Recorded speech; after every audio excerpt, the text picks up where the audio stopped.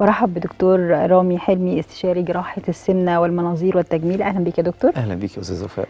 آه، برحب بأحمد ناصر. أحمد أنت أهلا طلعت. معانا قبل كده. آه، معلش بقى معطلينك أنت أنا عارفة إن عندك دروس وأنت في ثانوية عامة. ولا ربنا يوفقك يا. رب. ولكن حبينا أنت كنت معانا من شهر حبينا نعرف بس الدنيا معاك إيه دلوقتي.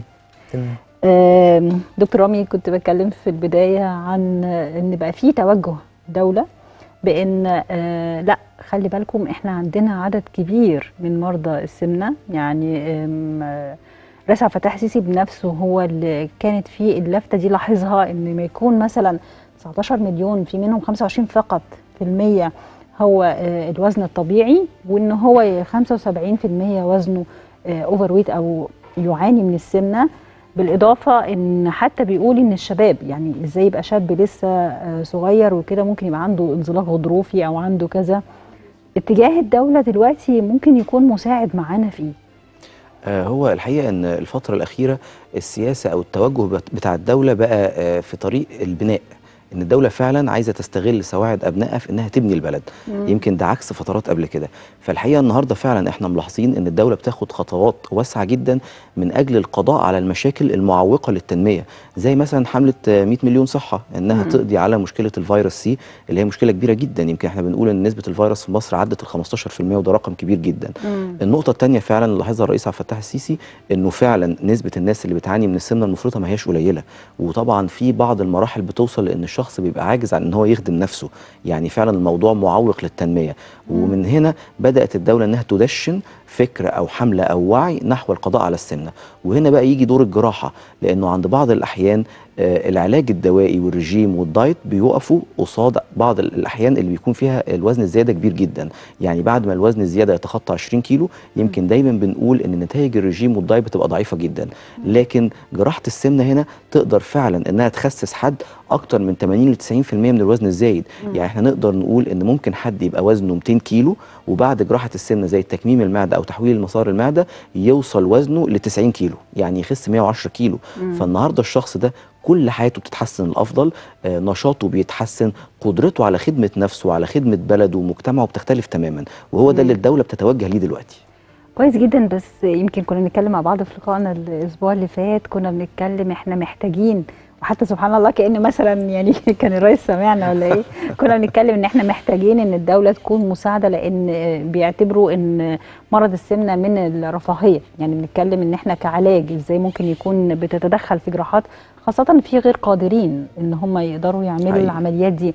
هل إحنا دلوقتي محتاجين برضه خطوات بقى؟ طالما يعني دلوقتي اكتشاف إن مرض السمنة ده مرض يعني مرض زي أي مرض بل بل هو مرض معوق لأنه بيكون نتيجة للسمنة إن في أمراض القلب وأمراض السكر وأمراض والعياذ بالله السرطانات وهكذا. آه، ده حقيقي فعلا.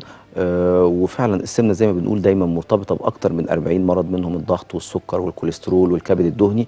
وأهم من كل الأمراض دي المشاكل النفسية مم. الانطوائية والعزلة وعدم القدرة على الاندماج مع المجتمع. كل دي مشاكل كبيرة جدا لابد إن إحنا نحاربها. تمام. وده سر نجاح جراحة السمنة لأنها فعلا قادرة على إنها تقضي على الأمراض دي.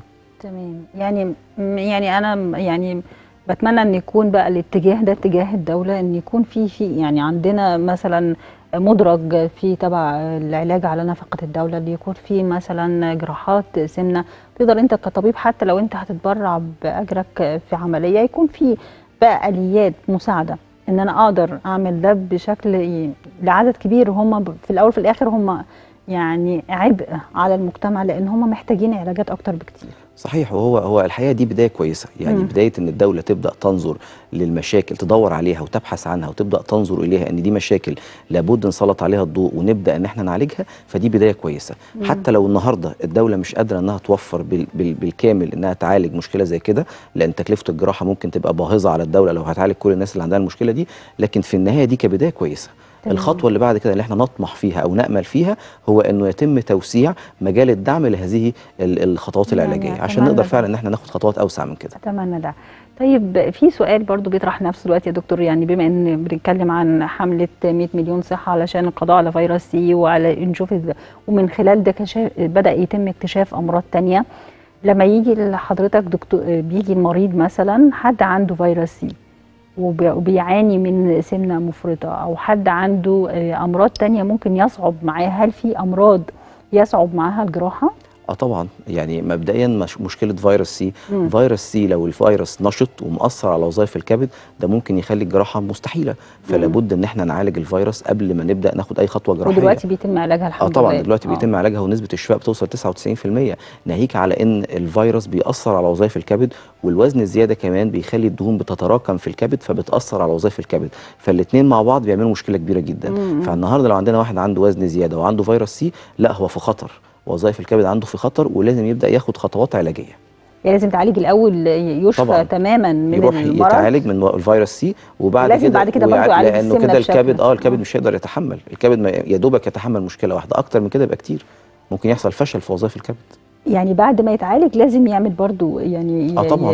يكون عملية جراحية آه عشان طبعا السمنة. أو بمعنى أصح هو مش هيقدر يعالج نفسه من السمنة إلا بعد ما يتعالج من نشاط الفيروس وجود الفيروس في حد ذاته مش مشكلة إنما نشاط الفيروس ده معناه إن في مشكلة وممكن يترتب عليها ارتفاع في إنزيمات الكبد وده معناه إن إنزيمات الكبد بتتدمر. مم. ناهيك عن إن وجود السمنة أو الوزن الزياده ده معناه تراكم الدهون على الكبد مم. ودي مشكلة لازم تتعالج. فهو أول خطوة بيروح يتعالج. والنهاردة الدولة أصبحت بتوفر علاج مجانا.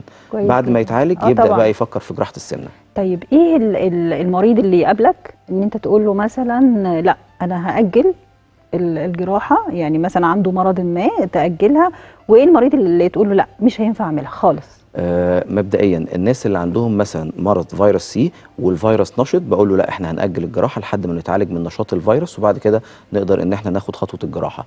أي حد عنده مشكلة في القلب ومشكله في الكبد مشكلة في الرئتين الناس دول لازم يتعالجوا الأول من المشكلة دي وبعد كده نقدر ناخد خطوة الجراحة. عادة من النادر جدا إن إحنا نقول لحد ما ينفعش نعمل لك عمليه. قليل جدا يمكن مم. واحد في المليون لأنه في النهاية إحنا عارفين إن السمنة مشكلة أو مرض فأنا عمري ما هسيبه يعاني من المرض ده وأقف أتفرج عليه أنا لازم هساعده ولازم همديله. إيدي مم. لكن في النهاية عشان سلامته مهمة جدا عندي فأنا ما ينفعش آخد بايده وأعمل له العملية غير وأنا مطمئن عليه 100% مم. فزي ما بقول لحضرتك نادرا ما أقول لحد مش هتقدر تعمل عملية لكن كتير بنقول لحد هعالجك الأول وهظبط لك مشكلة صحية ما وبعد كده ناخد خطوة العملية أيوه بس مثلا لو في حالات معينة مثلا زي ما حضرتك بتقول مريض قلب. يعني مريض. القلب ده لا يشفى. يعني بيبقى بيبقى مرض مزمن زي مرضى السكر زي أي مرض. بيتم التعامل مع المريض ده إزاي؟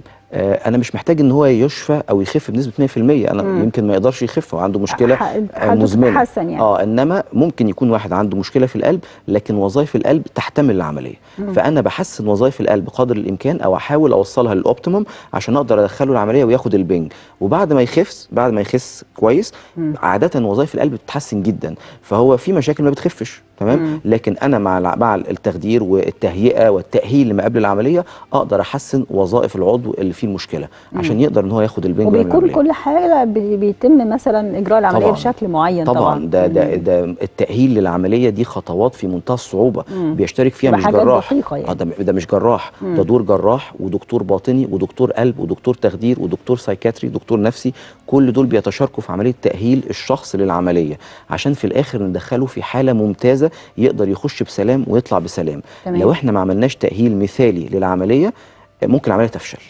حتى لو الجراح عمل العملية صح. فالتأهيل أهم من العملية. يعني زي ما بيقولوا كده بنسمعها في الأفلام كونسلت كونسلتو كامل. ده حقيقي. بالظبط طبعا. ال team ده كله هو المسؤول عن. نجاح العملية دي. ده حقيقي. إيه العمليات عمليات جراحه السمنة ممكن تكون سبب كبير في شفاء أي أي من الأمراض؟ طبعا آه معظم بصفة عامة جراحات السمنة كلها مع تحسن السمنة ومع انخفاض الوزن 99% من المشاكل بتتحسن. يعني الكبد الدهني بيروح الكوليسترول الزايد بيروح تصلب الشرايين بتتحسن مم. الضغط والسكر بيتحسنوا. لكن الناس اللي عندهم سكر لما بيعملوا عملية تحويل المسار نسبة الشفاء من السكر بتوصل ل 99% فدي شفاء. ممكن آه، ألام المفاصل ألام طبعا. ده, ده, الظهر. ده, ده نسبة كبيرة جدا من اللي بيجوا لنا بيجوا لنا عشان مشاكل المفاصل ودول بيتحسنوا جدا. شفاء تام بعد العملية. الضغط- واللي عندهم ضغط مرتفع و... الضغط المرتفع بيروح والسكر بيروح والكوليسترول بيروح. عملية تحويل المس- المسار قوية جدا في القضاء على الضغط والسكر والكوليسترول الزايد. كويس جدا. نروح بقى لأحمد. أحمد إزيك؟ الحمد لله. عامل إيه في المذاكرة؟ الحمد لله شايف الحمد لله. أنت قلت لي إن أنت علمي صح؟ هو علم قول لي يا أحمد بمناسبة بقى إن أنت دلوقتي في ثانوية عامة وبتذاكر وكده وأنا عارفة إن أنت بتعيد السنة ربنا يعينك بقى. آه، فرق معاك برضو يعني هل مثلا وأنت كان جسمك يعني وزنك زايد كان بيفرق معاك حتى في أدائك في المذاكرة في أدائك في الامتحانات نتيجتك النهائية؟ هو الحقيقة آه عشان كان آه، طول طول يومي خمول عندي خمول عايز أنام وعلى طول قاعد ما عنديش مخ عندي خمول على طول. عندك خمول علشان طريقة الأكل؟ يعني بتاكل مثلا فبالتالي ده بيعمل لك خمول ولا نفسيا بتبقى مالكش؟ بصي هو كله نفسيا وطريقة الأكل وكله.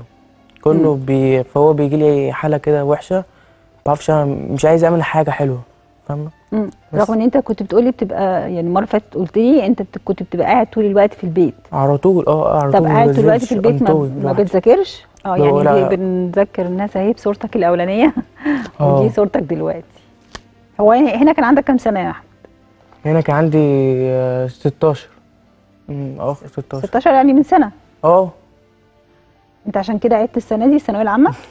لا لا لا هو آه. نصيب. لا يعني انت يعني انت لما كنت بتذاكر الأول وانت يعني يعني وزنك زايد ما كنتش بتقدر تذاكر عشان تعبان علشان حاسس بتعب ولا تعب وكان ضغطي عالي فما ضغطك كان بيعلى؟ آه طبعا. بجد؟ آه. في سنك ده؟ آه والله. 16 سنة وكان. ضغطك بيبقى عالي؟ آه. عشان بسبب السمنة كان كنت 200 كيلو. مم. السمنة كانت عالية عندي. هو كان عظمي دكتور هو السمنة بتعلي الضغط؟ آه طبعا. آه طبعا. حتى في أي الوز... في السن الصغير؟ آه طبعا. ح- ايا كان السن زيادة الوزن تعلي الضغط وتعلي السكر على طول. بس وتأثر على القلب. وتأثر على القلب. ما هو حضرتك حجم القلب ثابت. القلب. بتاعي زي قلب واحد عنده 150 كيلو زي قلب واحد عنده 200 كيلو. صحيح. فالقلب ده بيضخ الدم ل 70 كيلو أو ل 200 كيلو. مم. فما فيش شك إن قدرته على إنها تؤدي الوظيفة أقل كتير. يا خبر. يعني انت كنت ب... يعني طبعا أكيد يا حبيبي لما كان بيبقى ضغطك عالي لا تعرف تذاكر ولا يعني بيبقى آه. عامل لك صداع و... وكان كتير بقى. كنت تاخد دواء ضغط؟ لا. كنتش باخد دواء ضغط. طب وما بس أنا عارف إن الضغط اللي عندي ده من السمنة فهو مش هيتعالج. فلازم إيه. أخس عشان الضغط ده أنت يروح. تحمد ربنا إن أنت يعني طبعاً. لأن الحمد أنت ما بتاخدش دواء ضغط كان ممكن لا قدر الله. يعني دي فيها خطورة. آه الحمد لله. صح يا دكتور؟ صحيح آه طبعا. لو الضغط عالي عند مرحلة معينة ممكن تحصل مضاعفات. طبعا يعني. يعني. وما كانش بياخد واضح برضو إن هو كانش بياخد دواء فعارف إن ده بسبب ده بس. كان ممكن لا قدر الله يحصل له حاجة وهو ما كل يعرفش ده ناتج عن ال- ال- ال- حالة الزعل العامة هو عنده فتور في الحماس أو متضايق على طول مش مبسوط مش متحمس لأي حاجة لا حابب يذاكر ولا حابب ينزل يتفسح مم. ولا حابب أي حاجة مم. يعني حياته شبه إنها في حالة من الج- الجمود كل حاجة يعني واقفة عند كانه النقطة دي محطوط على الهولد يعني مت- كل حاجة واقفة. عند النقطة دي آه طب يعني كان ماما وبابا مثلا يعني هم عارفين ضغطك عالي ما كانوش أو اكتشفوا إن هو ضغطك كانوا خايفين بيعلى. عليا جدا آه. طب ما كان ضغطك بيعلى مثلا ما كانش مثلا بيقولوا لك نروح لدكتور بيساعدوني آه بروح بس أنا كنت خايف في الأول. مم. فأنا كنت في لحد لما رحت لدكتور رامي خايف شجعني. إن أنت تروح لدكتور آه عامة عمل- دكتور عم كنت خايف. عشان دي كانت أول آه، أول عملية أعملها. آه، عملية تعملها في حياتك. آه في حياتي كلها. مم. فرحت دكتور رامي فاطمنت على طول الحمد لله. لما قعد اتكلم معاك آه وبالفعل عملتها طلع عنده حق في كل كلمة يعني كل حاجة راحت. كل حاجة قول لي انت من بقت راحت. شهر كنت معايا؟ دلوقتي نزلت قد إيه؟ أنا دلوقتي 110 كنت كام من شهر؟ 115 نزلت خمسة كيلو كمان؟ آه، الشهرين في شهر، كويس ما شاء الله. كل ما بتنزل يا أحمد وزنك بينزل ده بيشجعك إن أنت تكمل صح؟ آه ده حقيقة بم- بكون عايز أدوس على نفسي أكتر عشان أنزل أكتر وفي أسرع وقت. مم. بس خلي بالك بقى أنت دلوقتي جسمك بيخس وبدأت بقى تنزل وتروح مع أصحابك وتيجي مع آه. أصحابك وده هيأثر على المذاكرة. ما دي حقيقة. ما دي يعني حقيقة. تلاقي ماما بتقول لك يا ريتك ما خسيت. آه والله دي حقيقة. نخلص الأول. أنا على طول تحت مش كنت أخ- بتنتقم بقى. آه والله دي حقيقة. كل اللي أنت كنت قاعدة في البيت بتعوضه والله دي حقيقة. في الشارع تحت. وبقى إيه، بتلعب كورة بت... بتلعب بت... آه، بلعب بتمارس كورة. حاجة دلوقتي أي رياضة؟ بلعب كورة وبلعب طبعا في الجيم. تروح الجيم آه لازم كل يوم أروح. جيم. كل يوم والله آه، برافو. عليك؟ لازم. وبلعب كورة. أم- أم- متعة الرياضة نفسها بت... بت... إحساس حلو. بت... بت... يعني بت... بترفع جسمك الروح خ- أنا المعنويه جسمي خفيف فأنا حاجة حلوة يعني. أنا جسمي خفيف وبلعب بقى بسرعة حاجة حلوة. جدولك إيه يا أحمد في اليوم يعني مثلا تاكل يعني الدكتور بقى قايل لك تاكل إيه وتلعب رياضة كل يوم إزاي يعني قول كده عشان برضو الشباب يسمعك. أنا ب... أنا دلوقتي فعامة باكل كل حاجة بس طبعا بكميات صغيرة جدا مم. يعني بتاكل كم مرة كم مرة في اليوم بتاع خمس خم... خمس مرات ست مرات خمس ست مرات كل مم. وجبة بتبقى عبارة عن إيه الفطار مثلا ربع رغيف. بس يعني وعليه جبنة مم. آه الغدا مثلا آه، حتة الفرخة أي جبنة؟ أي جبنة آه. يعني م... م... م... آه أي جبنة مسموح له ياكل اي خلاص بقى أنا بياخد عديت معلقة. المرحلة آه دي. طبعا آه. آه يعني أنت كنت الأول ما بتاكلش جبن أي جبن لا كنت باكل جبنة لايت بس. آه، بعد العملية آه في أول مرحلة طبعا بيبقى في شوية. سوائل وبعدين جبن خفيفة وحاجات خفيفة ثم بنوصل للمرحله دي بقى إن هو بياكل كل حاجة لا يعني حضرتك بتبقى قاصد آه ده طبعاً. علشان الوزن ينزل ولا آه، عشان هو لسه عامل لا العملية لسببين عشان آه. اولا أساعده إن هو يخس بعنف في الفترة الأولانية فده بيديله نوع من الحماس إن هو يكمل ويبدأ يعالج المشاكل النفسية ولا عشان المعدة. صغرت ده سبب السبب آه. الثاني عشان المعدة صغرت وفيها عملية فأنا عايز أساعد المعدة دي إنها تتعافى الكلام ده أول شهرين بعد الشهرين دول ببدأ أقول له لا ابدأ بقى كل اللي أنت بتحبه يعني برضو عشان برضو يعني السادة المشاهدين يفهموا وأنا كمان. يعني هو عشان العملية بتبقى فيها آه، الدبابيس اللي حضرتك قلتها المرة اللي فاتت دي. الدبابيس دي فهي يعني فالمعدة بقت صغيرة جدا. دبابيس صغيرة. آه تمام. فبنخليها بقى. آه صغيرة زائد إن فيها جرح. ما أنا مطرح العملية فيه ده جرح. علشان أنا أحافظ, أحافظ عليه اكل حاجات ويلئم بسيطة. تماما. آه. تمام. بناكل أكل خفيف ولايت. تمام. طبعا في الفترة الأولانية بيبقى فيه سوائل سوائل بس. ثم أكل خفيف تمام خالي من الدسم. لمدة شهر ونص. بعد الشهر ونص دول بنبدأ سوائل عبارة عن إيه بقى؟ سوائل. عصير بيور. آه تشرب يعني الشفاف اليوم عصير الشفاف فريش آه على طول عصير آه. عصير بس ما تاكلش أكل؟ أول أسبوعين أول ثلاثة فيهمش- آه، هو الواحد ما بيكونش عايز ياكل. مش قادر ياكل. آه مش عايز. بتشرب بتاخد لمدة أسبوعين مشروبات. مشروبات بس. عصير برتقال عصير صح كده؟ أه الحاجات أه عصاير مختلفة. وطبعا هو على فكرة حضرتك برضو الموضوع بيبقى مش صعب لأن جزء من العملية إن إحنا استبعدنا خلايا الجوع. فالموضوع ده بيدي نوع من الشبع. والامتلاء هو مش جعان أو ما عندوش الشهية إن هو ياكل. كنت بتحس طب ب... ب... ب... ب... بأي ألم مع... معين فبالتالي مش عايز لا. تاكل؟ لا لا لا ما حسيتش بأي ألم. بس إيه مش جعان. عشان يعني الأكل دي راح من عندي. مش جعان. لكن انت كويس وقادر تتحرك آه وقادر آه ده من تاني يوم نزلت على طول. والله ما الله. حاجة الحمد لله. تاني يوم مشيت ومارست آه حياتك عادي. آه على طول آه. وبقى كنت بس عايز ألعب جيم والله من يومين أسبوعين بس الدكتور قال لي لأ. قال لي بعد شهر. حسيت بقى يعني بقى يعني كان لسه بقى أنت وزنك لسه ما نزلش في الشهر الأولاني صح؟ لا نزل نزل بتاع 25 لا أنت في. الشهر أو بعد العملية على طول. بعد كده بدأت تاخد أسبوعين سوائل. آه. وبعدين بدأت تاكل زي ما الدكتور بيقول أكل خفيف أكل خالص خفيف. زبادي بدون وحاجات دواء. لمدة أي شهر. ونص بالظبط أنا ما أتذكر. تمام. آه، كنت حاسس بأي مضاعفات بأي تعب. لا. بعد كده خدت الفيتامينات الشهر بقى ده نزلت قد إيه؟ 25 كيلو. ما شاء الله. آه الشهر نزلت 25 هو هو استجابته كويسة. وقتها حسيت إن أنا صدمت. أنا أنا طلعت من على الميزان بتاع 10 مرات. أكيد كنت من غير ما تطلع الميزان حاسس بهدومك.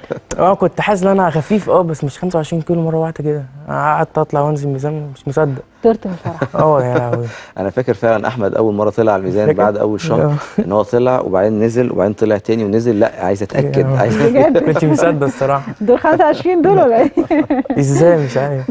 وقتها بقى يعني خلاص بقى أنا خدت الطريق ونجحت وهكمل. آه الصراحة يعني الحمد لله الواحد فرح جدا. ف... فاللي أنت حققته ده هو اللي مخليك مستمر محافظ. لحد ما اوصل بقى الوزن المثالي هو أنت ما شاء الله. يعني برضو الخمسة كيلو حاسه ان هم فرقوا عليك. آه. إن شاء الله اللي جاي برضو أنت عايز توصل ل 80 قلت لي؟ 85 85 عشان طولك. أو 90 أنا طولي 100 181 181 مم، طب 85 كويس 90 يعني آه. ده يعني المثال المثالي يعني آه. دلوقتي دلوقتي بقاش يا. دكتور الوزن بال- بالطول صح؟ لا. هو ليه علاقة بالطول بس مش يعني مش مثلا زي لو ما كانوا بيقولوا لا آه، 180 آه، سم يبقى- أشيل ال 100 يبقى الوزن آه. قيس تمام دي الكلام ده مش صح نظرية كانت لا دي. نظرية غلط تماما بس هي طبعا آه، زي ما تقولي حضرتك ده يعني فولكلور شعبي الشعب المصري مؤمن إن اللي. طوله 170 سم لازم يبقى وزنه 70 سم ده اللي هو إحنا ده وده آه. مش صح إنما. إحنا عندنا حسبة وزن قياسي اسمها معيار كتلة الجسم بالنسبة لأحمد هيبقى في متوسط ال 85 ل 90 هو خلاص قرب خالص هو. قرب جدا هو بقى له 20 كيلو ما شاء الله وتحافظ الله. عليها بقى يا أحمد إن شاء الله يا ربنا ينجحك أخلص يا حبيبي يا رب. و... وتدخل الكلية اللي أنت نفسك فيها بقى. وتحقق كل اللي تتمناه يا رب. أنا أنا عايز أضيف. حاجة على اتفضل. أحمد هو إحنا دايما دايما الناس بتفتكر إن الجراحة دي هي السحر مم. إنما في الواقع الجراحة ما هيش سحر يعني البطل الحقيقي لا الجراح ولا دكتور التخدير ولا الإرادة بقى اللي المساعدين بعدها. البطل الحقيقي هو ال- ال- اللي عمل العملية نفسها هو اللي. أخذ البنج وهو اللي دخل وهو اللي اتعرض للمشقة وهو اللي كان عنده إرادة إن هو يتغير. ياما ناس بتعمل عمليات جراحية بس ما بتوصلش إرادة. حققه صحيح. فهو فعلا الإرادة اللي عنده دي هي البطولة الحقيقية صحيح وإن هو يفضل مواظب على ده وربنا يوفقك يا حبيبي يا رب ربنا الله. يبارك فيك يا أحمد آه أنا بشكرك دكتور رامي يعني آه دايما بتجيب لنا نماذج كده بتدي للناس برضو أمل إن هي فعلا مش مستحيل خالص البني آدم يتغير مش. مستحيل إن أي إنسان يغير حياته ويخليها للأفضل خاصة اللي إحنا بنقول إن إن السمنه دي بقت يعني زي ما بنقول كده بقت مرض للأسف ممكن يكون معوق للحياة كلها فلما أنا أقدر أفكر إن أنا أعالج ده وإن أنا أعيش حياتي وأغير حياتي فاكيد بتبقى حاجة كويسة جدا. حقيقي. آه، أنا بشكر دكتور رامي حلمي استشاري جراحة السمنة والمناظير والتجميل. وبشكر أحمد ناصر يعني الشاب الجميل اللي هو إن شاء الله يعني بإذن الله يوصل لوزنه المثالي ويحقق كل اللي. يتمناه نطلع فاصل وبعد الفاصل هنشوف تقريرنا زي ما قلت لحضراتكم. نشوف ست خضرة ونشوف آه، قد إيه ممكن تكون في عندنا أمهات كتيرة مثاليات يمكن بس هي حظها نقدر إن إحنا قدرنا نوصل لها لكن في أمهات كتيرة على هذه الشاكلة وفي أبناء كتيرة. زي ما إحنا شفنا في دار المسنين قد إيه ممكن أمهات توجع القلب آه، أهل يعني إزاي أهلها سابوها أو ولادها. يعني تعاملوا معاها بهذا ال- العقوق والجحود ولكن في أبناء بارين زي النموذج اللي إحنا هنشوفه النهارده. تعالوا نشوف تقريرنا يعني تعالوا الأول نطلع فاصل ونشوف تقريرنا مع الست خضرة ونشوف إزاي آه، ولادها بيحبوها وإزاي قد إيه هم بارين بيها. ربنا يبارك فيهم جميعا يا رب. ده هيكون إن شاء الله نهاية الحلقة. ما تنسوش إن شاء الله قعدتنا إن شاء الله يوم الاثنين الساعة 11 ظهرا. وأترككم في رعاية الله وتصبحوا على ألف خير.